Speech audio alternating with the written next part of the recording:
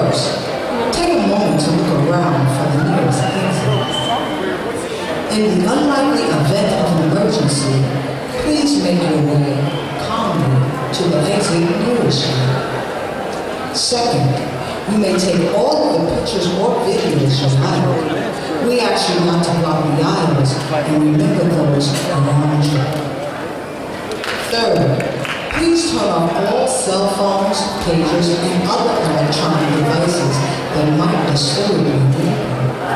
If you need to use them, please go out into the field.